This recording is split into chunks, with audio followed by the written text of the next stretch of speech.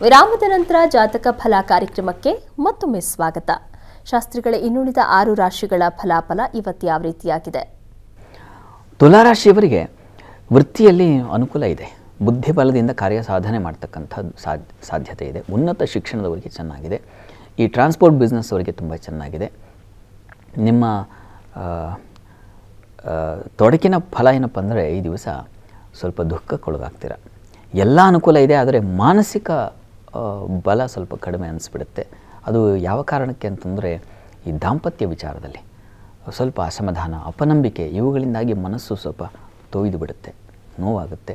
ಇದಕ್ಕೆ ಪರಿಹಾರ ಏನಪ್ಪ ಅಂದರೆ ಶಿವಶಕ್ತಿಯರ ಆರಾಧನೆ ಮಾಡಿ. ಈಶ್ವರ ಪಾರ್ವತಿ ಪರಮೇಶ್ವರ ಪ್ರಾರ್ಥನೆ ಮಾಡೋದರಿಂದ ಅವರಿಗೊಂದು ಪುಷ್ಪಾರ್ಚನೆ ಮಾಡಿಸೋದ್ರಿಂದ ಅನುಕೂಲ ಆಗುತ್ತೆ. ಇನ್ನು ವೃಶ್ಚಿಕ ರಾಶಿ. ವೃಶ್ಚಿಕ ರಾಶಿಯವರಿಗೆ ದಿವಸ ವಾಹನ ಸೌಖ್ಯ ಚೆನ್ನಾಗಿದೆ. ಈ ಈ ಹಾಲು ಹೈನು ವ್ಯಾಪಾರಿಗಳಿಗೆ ವಿಶೇಷವಾದ ಫಲ, ಲಾಭ ಕಾಣಬಹುದು. ಕೃಷಿಕರಿಗೆ ತುಂಬ ಚೆನ್ನಾಗಿದೆ. ಗ್ರಾಮ ಹಳ್ಳಿಗಳಲ್ಲಿ ವಾಸ ಮಾಡುವವರಿಗೆ ಪರಸ್ಪರ ಸಹಕಾರದ ಮನೋಭಾವ ತುಂಬ ಚೆನ್ನಾಗಿರ್ತದೆ ಈ ದಿವಸ ನಿಮಗೂ ಅಷ್ಟೇ ಸ್ವಲ್ಪ ದಾಂಪತ್ಯದಲ್ಲಿ ಸ್ವಲ್ಪ ಕಿರಿಕಿರಿ ಅದನ್ನು ಸೂಚಿಸ್ತಾ ಇದೆ. ಸಾಮರಸ್ಯ ತಪ್ಪಿ ಹೋಗ್ಬಿಡುತ್ತೆ, ನಂಬಿಕೆ ತಪ್ಪಿ ಹೋಗ್ಬಿಡುತ್ತೆ. ಹೀಗಾಗಿ ಇದರ ನಿವಾರಣೆಗೆ ಲಕ್ಷ್ಮೀ ನಾರಾಯಣ ಹೃದಯ ಪಾರಾಯಣ ಅದು ತುಂಬ ಸಹಾಯ ಮಾಡುತ್ತೆ ನಿಮ್ಮ ರಾಶಿಯವರಿಗೆ. ಧನುರಾಶಿಯವರಿಗೆ ಈ ದಿವಸ ಧೈರ್ಯ ಸಾಹಸಗಳಿಂದ ಕಾರ್ಯ ಸಾಧನೆ. ಒಳ್ಳೆಯ ಉಪದೇಶ, ಸ್ತ್ರೀಯರಿಂದ ಒಂದು ಒಳ್ಳೆಯ ಮಾತು ಕೇಳ್ತೀರಾ ಈ ದಿವಸ? ಇನ್ನು ಸೇವಕರಿಂದ ಸಹಾಯ ಸಿಗುತ್ತದೆ. ನೀವು ಹೇಳಿದ ಕೆಲಸಕ್ಕಿಂತ ಚೆನ್ನಾಗಿ ಕೆಲಸವನ್ನು ಅಚ್ಚುಕಟ್ಟಾಗಿ ಮಾಡೋದು ಬೇರೆ. ಸುಮ್ಮನೆ ಏನೋ ಒಂದು ಕೆಲಸ ಮಾಡೋದು ಬೇರೆ. ಆದರೆ ಈ ದಿವಸ ಹಾಗಲ್ಲ. ಅಚ್ಚುಕಟ್ಟಾಗಿ ಮುಗಿಸಿ ನಿಮಗೆ ಸಮಾಧಾನ. ಆ ರೀತಿಯ ಫಲ ಇದೆ. ವೃತ್ತಿಯಲ್ಲಿರ್ತಕ್ಕಂಥವರಿಗೆ ವಿಶೇಷವಾದ ಅನುಕೂಲ ಇದೆ. ಮಿತ್ರರ ಸಹಾಯ, ಬಂಧುಗಳ ಸಹಾಯಕ್ಕೆ ಚೆನ್ನಾಗಿದೆ. ಗುರು ಸಮಾನದಲ್ಲಿರ್ತಕ್ಕಂಥವರಿಗೆ ಚೆನ್ನಾಗಿದೆ. ತೊಡಕೇನಪ್ಪ ಅಂತಂದರೆ ಈ ಗಾಯಗಳಾಗೋ ಸಾಧ್ಯತೆ, ಈ ವ್ರಣ ಅಂತೀವಲ್ಲ, ಪೆಟ್ಟು ಬಿದ್ದು ತೊಂದರೆ ಮಾಡ್ಕೊಳ್ತಕ್ಕಂತಹ ಸಾಧ್ಯತೆ ಇದೆ. ಹುಷಾರಾಗಿರಿ. ನರಸಿಂಹ ಕವಚವನ್ನು ಹೇಳ್ಕೊಳ್ಳಿ ಅಥವಾ ಕೇಳಿಸ್ಕೊಳ್ಳಿ. ಇನ್ನು ಮಕರ ರಾಶಿ. ಮಕರ ರಾಶಿಯವರಿಗೆ ವೃತ್ತಿಯಲ್ಲಿ ಬಲ ಸೂಚಿಸ್ತಾ ಇದೆ. ಧನಲಾಭ ಚೆನ್ನಾಗಿದೆ. ಕುಟುಂಬದಲ್ಲಿ ಒಳ್ಳೆಯ ಏನು ಸಂಘ. ಕುಟುಂಬ ಸಂಘ ತುಂಬ ಚೆನ್ನಾಗಿರ್ತದೆ. ಯಾವುದೇ ಕಲಹ, ಕೋಲಾಹಲ ಇಲ್ಲದ ಹಾಗೆ ಕುಟುಂಬದ ಒಂದು ವಾತಾವರಣ, ವರ್ತಮಾನನೇ ಅಂದರೆ ಕಿವಿಗೆ ಬೀಳ್ತಕ್ಕಂಥ ವಾರ್ತೆಗೆ ನಿಮಗೆ ಚೆನ್ನಾಗಿರ್ತದೆ. ಮಾತು ಚೆನ್ನಾಗಿರ್ತದೆ. ವಿದ್ಯಾರ್ಥಿಗಳಿಗೆ ಅನುಕೂಲದ ಲಕ್ಷಣ ಇದೆ. ಅನ್ನ ಸಮೃದ್ಧತೆ ಕಾಣ್ತಾ ಇದೆ. ಹೀಗಾಗಿ ಹೆಚ್ಚಿನ ಶುಭ ಫಲ ಕಾಣಬಹುದು. ನಿಮ್ಮ ರಾಶಿಯಿಂದ ಮಾಂದಿ ಉದಿಯಾಗಿದೆ ಕುಜನ ಜೊತೆಗೆ. ಹೀಗಾಗಿ ಸ್ವಲ್ಪ ಉದರವು ಅಗ್ನಿ, ಅಗ್ನಿಬಾಧೆ ಹಾಗೆ ತೊಂದರೆ ಹೊಟ್ಟೆಗೆ ಸಂಬಂಧಿಸಿರ್ತಕ್ಕಂಥ ತೊಂದರೆಗಳು ಉಂಟಾಗುವ ಸಾಧ್ಯತೆ ಇದೆ. ಇದಕ್ಕೆ ಉದರ ಬಾಧೆ ನಿವಾರಣೆಗೆ ನೀವು ಕೂಡ ಏನು ಶಿವಕವಚವನ್ನು ಅಥವಾ ಸುಬ್ರಹ್ಮಣ್ಯ ಕವಚವನ್ನು ಹೇಳ್ಕೊಳ್ಳೋದ್ರಿಂದ ಹೆಚ್ಚಿನ ಅನುಕೂಲ ಉಂಟಾಗುತ್ತೆ. ತಪಾಸಣೆ ಮಾಡಿಸಿ ತುಂಬ ತೀವ್ರವಾಗಿಬಿಟ್ರೆ. ಇನ್ನು ಕುಂಭರಾಶಿ ಕುಂಭರಾಶಿಯವರಿಗೆ ದಿವಸ ಬಲ ಚೆನ್ನಾಗಿದೆ.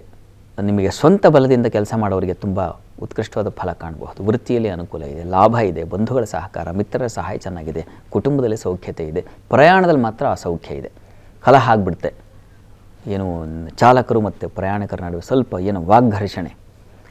ವಾಗ್ಘರ್ಷಣೆಗಿಂತ ಮುಖ್ಯವಾಗಿ ಪ್ರಯಾಣ ಬೇರೆ ಅನ್ಯರಿಂದ ತೊಡಕು, ಆ ರೀತಿಯ ತೊಡಕನ್ನು ಸೂಚಿಸ್ತಾ ಇದೆ. ಹೀಗಾಗಿ ಎಚ್ಚರಿಕೆ ಬೇಕು. ಗ್ರಾಮದೇವತಾ ದರ್ಶನ ಮಾಡಿ ಅಥವಾ ಅಮ್ಮನವರ ಸನ್ನಿಧಾನಕ್ಕೆ ತುಪ್ಪ ಸಮರ್ಪಣೆ ಮಾಡಿ ಈ ದಿವಸ ಅದು ಸಹಾಯ ಮಾಡುತ್ತೆ.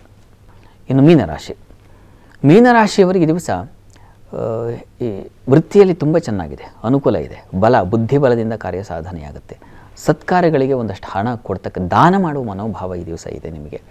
ಲಾಭವೂ ಇದೆ. ಈ ದಿವಸ ಸ್ವಲ್ಪ ತೊಡಕೇನಪ್ಪ ಅಂದರೆ, ಈ ಸಹೋದರರ ನಡುವೆ ಸ್ವಲ್ಪ ಅಸಮಾಧಾನ ಉಂಟಾಗುತ್ತೆ. ಹೀಗಾಗಿ ಸುಬ್ರಹ್ಮಣ್ಯ ಪ್ರಾರ್ಥನೆ ಮಾಡಿ. ಸರಿ ಶಾಸ್ತ್ರಿಗಳ, ಇವತ್ತಿನ ಸಂಚಿಕೆಯಲ್ಲಿ ಈ ದಿನದ ವಿಶೇಷತೆ ಜೊತೆಗೆ ಹನ್ನೆರಡು ರಾಶಿಗಳ ಫಲಾಫಲದ ಬಗ್ಗೆ ಮಾಹಿತಿ ತಿಳಿಸ್ಕೊಟ್ರಿ. ಹಾಗೆ ಜಾತಕದಲ್ಲಿ ಧನಾಧಿಪತಿಯು ಧನಭಾವದಲ್ಲಿದ್ದಾಗ ಯಾವೆಲ್ಲ ಫಲ ಸಿಗುತ್ತೆ ಅನ್ನೋದರ ಬಗ್ಗೆ ಮಾಹಿತಿ ತಿಳಿಸ್ಕೊಟ್ರಿ. ನಮ್ಮ ವೀಕ್ಷಕರು ಕಳುಹಿಸಿದಂತಹ ಸಂದೇಶಗಳಿಗೆ ಸಲಹೆ, ಸೂಚನೆ, ಪರಿಹಾರಗಳನ್ನು ಸೂಚಿಸಿದ್ರಿ. ಧನ್ಯವಾದಗಳು. ಸರ್ವೇ ಜನಾ ಸುಖಿನೋ ಭವಂತು, ಸಮಸ್ತ ಸನ್ಮಂಗಳಾನಿ ಭವಂತು. ಎಲ್ಲರಿಗೂ ಶುಭವಾಗಲಿ. ವೀಕ್ಷಕರೇ ಇದಾಗಿತ್ತು ಇವತ್ತಿನ ಜಾತಕ ಫಲ ಕಾರ್ಯಕ್ರಮ. ನೇರ ದಿಟ್ಟ ನಿರಂತರ ಸುದ್ದಿಗಾಗಿ ನೋಡ್ತಾ ಇರಿ ಏಷ್ಯಾ ನೆಟ್ ಸುವರ್ಣ ನ್ಯೂಸ್.